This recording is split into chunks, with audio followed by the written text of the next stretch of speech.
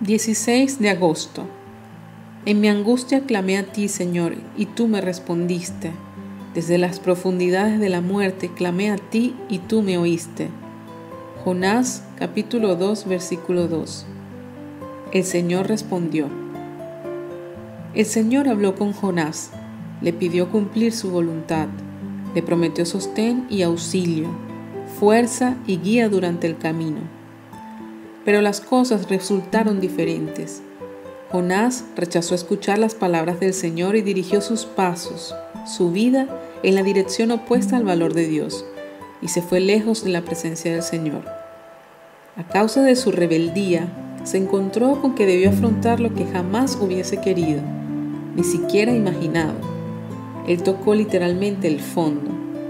Fue entonces cuando se recordó del Señor reconoció su pecado sin culpar a Dios por todo lo que le estaba sucediendo. Estaba consciente de la gravedad del haberse alejado de Dios y su deseo fue nuevamente el de tener comunión con Dios y elevó una plegaria con la certeza de que Dios le había escuchado. Yo me he recordado de ti, Señor, y mi oración ha llegado hasta ti. Jonás capítulo 2 versículo 7. Aún hoy el hombre busca escapar del Señor, pero esto lo lleva a vivir siempre más y más abajo y muchas veces hasta llega a tocar el fondo. Entonces, ¿qué hacer? Una oración hecha con fe, acompañada de un sincero arrepentimiento, seguramente llegará al trono de la gracia de Dios, el cual te hará llegar una pronta respuesta y solución.